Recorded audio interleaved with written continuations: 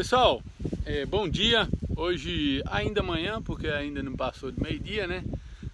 Mas eu quero gravar um vídeo aqui para vocês para tirar algumas dúvidas que eu também é, tinha e hoje eu já tenho um conhecimento maior é, diante do segmento da, da pecuária, né? Do sítio, é, de coisas assim. E eu quero dividir com vocês é, se é melhor engordar boi ou novilha. Qual é o, o melhor? E isso eu digo para o pequeno produtor, né? O grande, ele tem outras opções, mas para o pequeno produtor como eu e talvez você que está aí assistindo, é, qual o melhor? Engordar boi ou novilha? Mas antes de tudo, quero dizer que Deus seja louvado. Obrigado, meu Deus, porque nós estamos aqui, Senhor, porque assim o Senhor tem nos permitido. Louvado seja o teu santo nome, ó Deus. E agora vamos dar continuidade ao serviço, menino. Cuida, como dizia vovô. Dizia não, diz que o homem Davi vindo da Silva. É, tô eu aqui e agora com uma câmera diferente, show de verdade, que é um, um tal de um tal de um pau de selfie. Ele é bom demais, homem, tu é doido. Rapaz, antigamente eu gravava os vídeos segurando o celular, o meu braço ficava em tempo de dar uma cãibra. Tu é doido, homem. Mas enfim, brincadeiras à parte, tá eu e Carolina, minha égua. Ei, Antônio, Antônio lá de, de do Pernambuco, meu filho. Olha ela aí, homem, ó. Olha agora, é boa de verdade, viu? Olha, show. Tamo junto, Antônio. Um grande abraço para você, meu amigo. Aí vamos lá. Então, pessoal, o pequeno produtor, né? Você está aí pensando em mexer com uma atividade rural, tem uma terra pequena, né, de 10 alqueires, de 5, de 15, enfim. E quer mexer, quer engordar boi, quer mexer com gado. Aí você está aí se perguntando qual é o melhor, engordar boi ou novilha? Mexer com bezerro ou com bezerra? Então, eu cheguei à seguinte conclusão conversando com muitas pessoas e experientes, né? entre elas fazendeiro, outros sitiante, enfim, de tudo um, um pouco eu, eu conversei com grandes e pequenos para poder adquirir esse, esse conhecimento para mim e ao mesmo tempo dividindo aí com vocês, tá?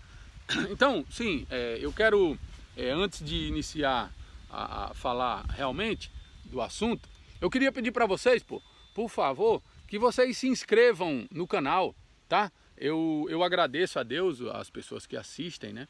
Mas tem um grande número de pessoas que assistem o, os vídeos e não se inscrevem no canal. Se inscreva aí, dê uma forcinha aí no canal.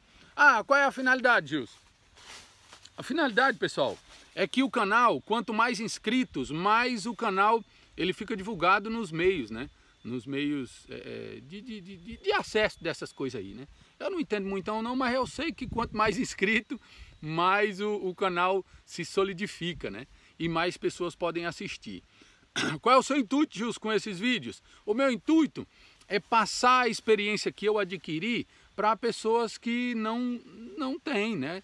E assim, que, que conhece pouco, como eu também é, me sinto um cara que não é conhecedor de tudo e estou sempre aprendendo. E o pouco que eu aprendo, tento passar para vocês. Porque às vezes, amigo, uma pequena pitada de sal, de tempero em, em uma cozinha, né, nesses, nesses restaurantes aí refinados, muda totalmente o paladar do negócio, né? Então vamos lá para uma pitada de tempero nesse negócio, né, meu compadre? Então se inscreve no canal aí, galera. Vai lá, ajuda o Matuto Rei, nego. Ei, e agora, meu filho, ó, o chapéuzão tá de novo nativo aí, viu? Aquele outro chapéu mais novo lá é da cidade, viu? Então, pessoal, a engorda de boi é excelente, é muito bom engordar boi. Mas tem um detalhe, o boi demora, o boi demora muito a, o boi, para você tirar um boi com 18 a 21, 22 arrobas, de média, de média, né? É, ele demora no mínimo, pessoal, se você tiver um, um pasto bom e tiver um tratamento adequado, com um proteinado, né, ali após você receber o bezerro do, do, do cara que produz, enfim, é, ele vai sair uns dois anos, no mínimo dois anos, pessoal, no mínimo dois anos para você tirar esse boi é, depois dele apartado da mãe, né? Então, você fica com um boi dois anos no seu pasto, é muito tempo para você, para um pequeno produtor, esperar para que esse boi possa lhe dar um resultado. Né? E se você tirar ele antes de 18 arroba, que eu acredito que 18 arroba é prejuízo. Você pegar um boi e mandar para o frigorífico com 18 arroba é prejuízo. Um boi para ele ir para o frigorífico ele tem que estar tá no mínimo com 20 arroba para cima. Porque hoje a arroba do boi está 140, 140 e pouquinho. Então vamos, vamos fechar em 140. Aí você pega duas arrobas, se você manda ele com 18. E você pega e manda ele com 18 arroba para o frigorífico. É, e você segurando um pouquinho mais ele para ele chegar a 20, você vai ter um prejuízo de quase 300 reais, né? Isso não é 300 não, mas é 280 reais, né? Então, é, olha a diferença. Isso é o lucro que você vai ter com aquele boi. Então, uma questão é o tempo. O tempo, o boi demora um pouco mais, né? Outra coisa também que para mim, para o pequeno produtor, é, uma, é um empecilho. É o fato do boi, dependendo do lugar que você estiver criando ele, é, ele vai querer varar cerca para ir para casa do vizinho, para casa do vizinho não, né? Para ir para a terra do vizinho, para ir mexer com, a, com as vacas dele, porque boi é, é feito para isso mesmo, né? Então, eles também têm uma tal de monta, rapaz, eles ficam um com o outro, montando um no outro, e é uma briga da gota, começa a brigar, montar um no outro, e, e faz malhador, esculhamba pasto, todas essas coisas eu pesquisei, pessoal, e vi. Ah, mas por que, que fazendeiro engorda boi? Porque o fazendeiro tem muita terra, meu amigo. Tá certo? Fazendeiro tem muita terra e isso não vai fazer tanta diferença. Fazendeiro tem um trator para se o boi esculhambar um pedaço da terra dele, ele meter o trator lá com arado e arar de novo e jogar cimento e formar o capim. Agora um pequeno, um pequeno produtor igual a eu, que para poder conseguir um trator eu tenho que pagar uma hora, cento e não sei quantos real, para poder o cabo vir aqui. Se for uma hora ou duas, o cabo não quer vir, porque é pouco demais, e eu entendo que não vale a pena ele sair lá da caixa prego para vir arar minha terra, né? Então, tem esses detalhes. Uma é que você tem que ter tempo para poder você segurar o boi. E outra que tem esses empecilhos aí da, da monta, né? Ele fica montando no outro e, e vara cerca para ir para ir para onde tem vaca, incomoda os vizinhos, né? Eu vi aqui uns amigos meus falando e a gente discutindo sobre esse assunto e é o que mais acontece. Ele, ele perturba bastante, né? Então, pequeno produtor. Aí você me fala o que, Gils? Meu amigo, o bom para o pequeno produtor é a fêmea. Ah, por que a fêmea, Gils? Porque a fêmea, meu amigo, ela sai mais rápido. Se você pegar uma bezerrada boa, filha de touro bom, assim, eu, eu não, talvez, né amigos, tenha aí é, gente que trabalha com compra e venda de gado e eu não tô aí, olha, ô vaca realarde, ei minha gata, viu? O nome daquela gata, daquela aquela vaca ali é Jolie. aqui tem umas aqui que eu chamo de forma carinhosa.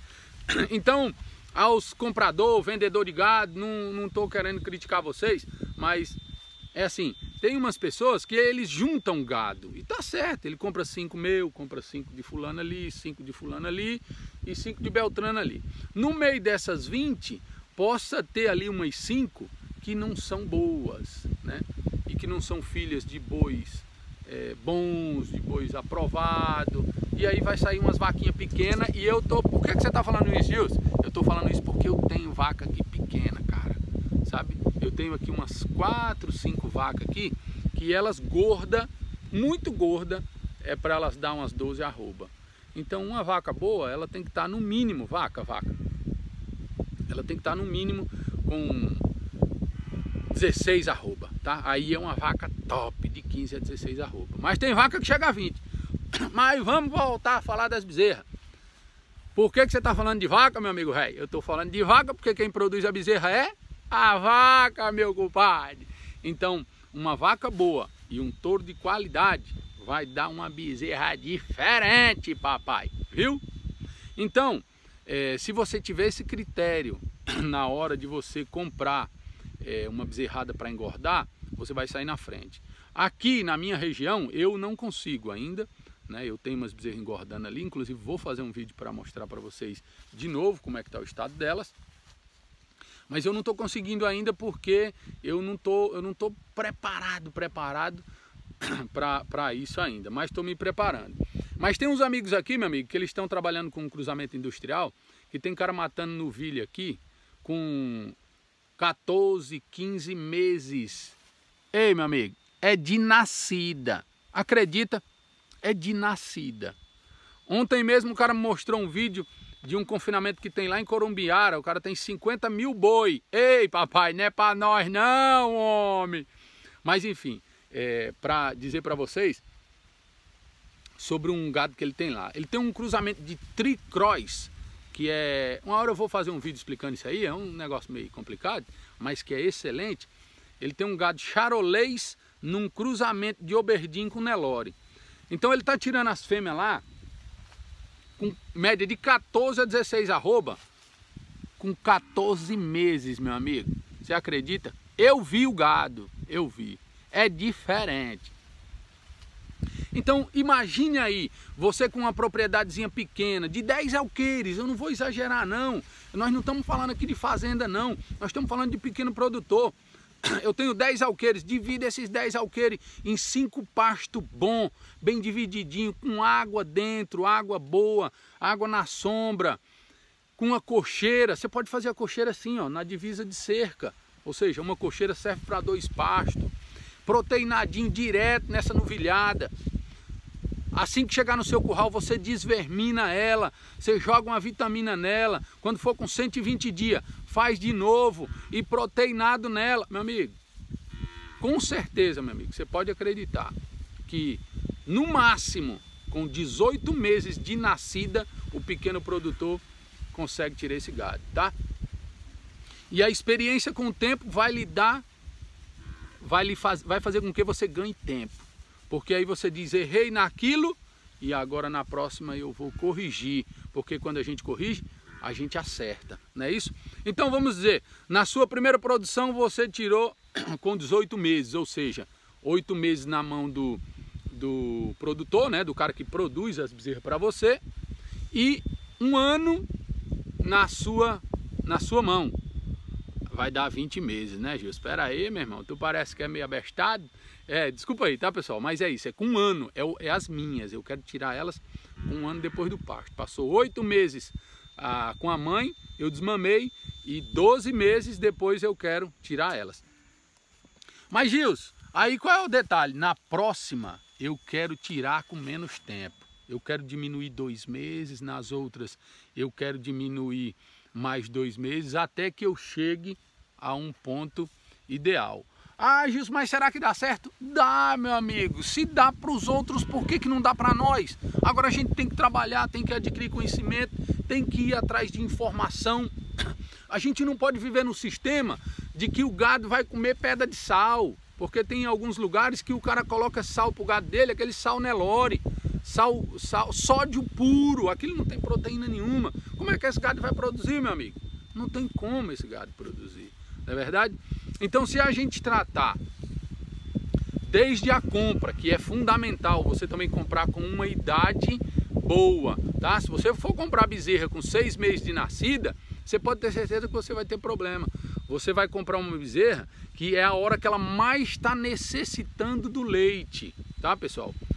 eu estou falando isso com um conhecimento que adquiri também. Eu conversando com um zootecnista e ele falando para mim, olha Gilson, o maior problema que os pequenos produtores enfrentam é porque eles veem uma bezerrona bonita, coruda, grande, gorda e ele, aquela bezerra não tem a idade suficiente para que ela possa ser tirada do peito, ser tirada do leite.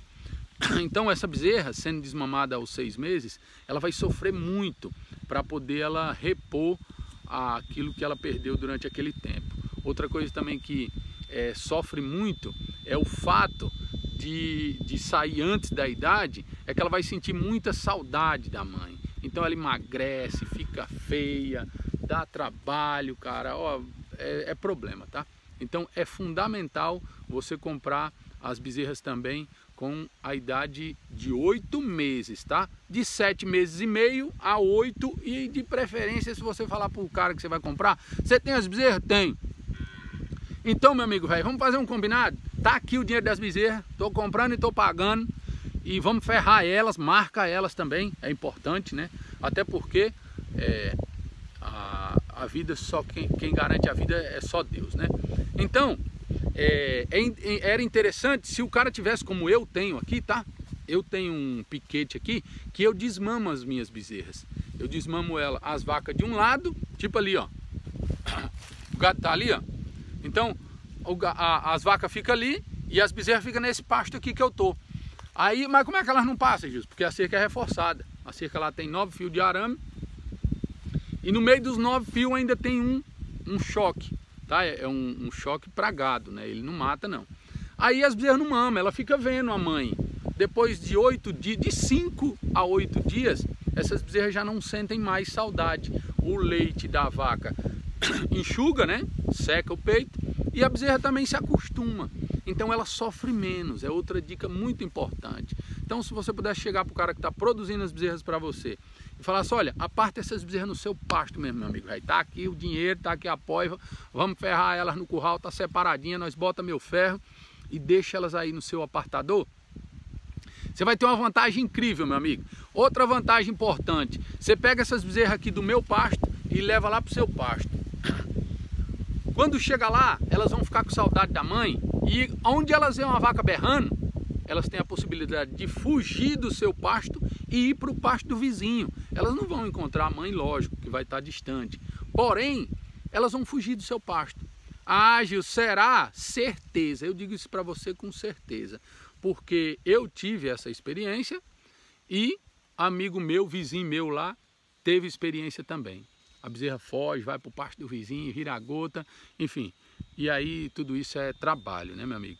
Então, Ah, Gils, qual é o peso que eu tiro uma bezerra ficando com ela um ano depois de desmamada no meu pasto?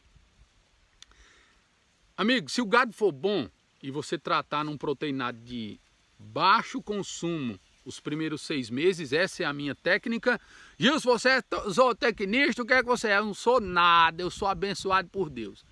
Mas eu gosto de conversar com todo mundo e as pessoas me dão essas informações. Então, você pega um proteinado de baixo consumo, de boa qualidade, os primeiros seis meses, 200 gramas a 300 gramas de consumo. Por quê? Tem umas que comem mais e tem umas que comem menos. Então a média é essa, 200 a 300 gramas de consumo. Aí você pega ela nos seis meses, tira um pouquinho do sal ou conversa com quem está fazendo proteinado para você, para que diminua o sal. Eu quero um médio consumo agora que é o médio consumo? O médio consumo é ela comer a média de 500 a... Vamos pôr de 400 a 700 gramas, tá? É um médio consumo, porque ela já vai estar com uma média de 9 arroba. E aí você pode largar proteinado nelas, né? Faça as contas, tá? Eu, eu não, não, não quero aqui que você tenha prejuízo. Mas faça as contas do preço da bezerra, do preço que você vai gastar, enfim, para poder você não ter prejuízo, tá? Eu tenho feito as contas na minha aqui, eu não vou ganhar muito. Porém, eu vou estar tá me capitalizando, tá certo? E por fim, aí sim, esse de médio consumo, de 400 a 700 gramas, você deixa mais 4 meses. Com 6 do baixo consumo, 10, não é isso? E os últimos dois Aí você dá um alto consumo, que pode ser de 1 kg a 1,5 kg a 2 kg. Depende o valor que custa esse produto aí na sua região. E pode ter certeza que essa novilha vai sair com 12 arroba. Ela só não sai com 12 arroba, nego rei, se ela for ruim, tá? Se for um gadinho ré enxugado, de tourinho ré de boiada, aí dificilmente sai. Apesar que tem uns touros ré de boiada, meu filho, que é uns baú, tá? Então, Fica a dica aí pra vocês, ó. Eu quero mostrar uma bezerra aqui pra vocês. Ela tá aqui pertinho de mim. Ó, essa bezerra aqui, ó, atrás de mim aqui, ó. Ó. Tá vendo ela aqui, ó? Ela é um cruzamento, ó. Ela é um cruzamento, ó. Tá aqui, ó, tá vendo? Ela é Nelore, touro Nelore, na vaca meio sangue cimental. Deu essa bezerra aí. Ó, essa bezerra tá desmamada tem... Ô, cara, tem um outro vídeo aí que eu fiz. Acho que tem uns 40 dias por aí, 50 dias. Quem disse que essa bezerra foi desmamada, homem? Cadê, homem? Olha, a bezerra tá roliça, meu filho, ó. Olha, ó, ó a bezerra, homem. Tá gorda de verdade, homem. Coisa linda, né? Agora, por quê? Assim, eu desmamei nesse procedimento que eu falei para vocês, a vaca de um lado e a bezerra do outro, e ela já foi direto pro proteinado, tá comendo proteinado. Aí tá a bezerra, né? Lorde. Então não sofreu. Olha lá as outras lá em cima lá, ó. Aquela pretinha ali, ó. América do Sul e a tigresa. Cadê a tigresa? A tigresa tá do lado dela, do lado da árvore ali, ó. ó aqui assim, ó. Tá a tigresa. Rapaz, parece que tem umas abelhas aqui perturbando eu, pelo amor de Deus, ó. Mas enfim, é, pessoal, fica a dica aí para vocês, tá? Um grande abraço para vocês, de seu amigo velho. Qualquer pergunta, nós estamos aqui às ordens, tá? E é uma satisfação é, dividir esse conhecimento com vocês. Dicas, se vocês tiverem dicas, Wilson, se informa disso ou daquilo que eu não souber, eu vou atrás para nós estar conversando aí, tá? Então, um forte abraço para todos vocês aí. Forte abraço pro pessoal aí que está inscrito no canal, os que não estão tá inscritos, que assistem os vídeos. Nós estamos juntos toda hora do mundo, que nem diz prefeito locutor. É show, papai!